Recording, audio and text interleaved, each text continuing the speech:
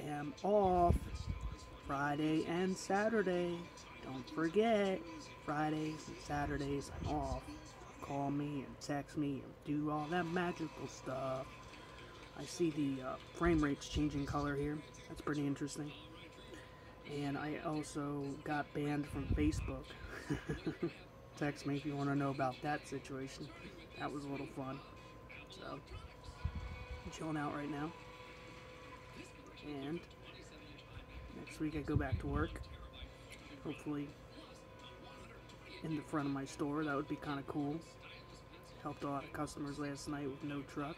That was a good thing. So, yep. So hopefully I'll be on Facebook in a couple days. Other than that, you guys have an awesome weekend and all that other jazz.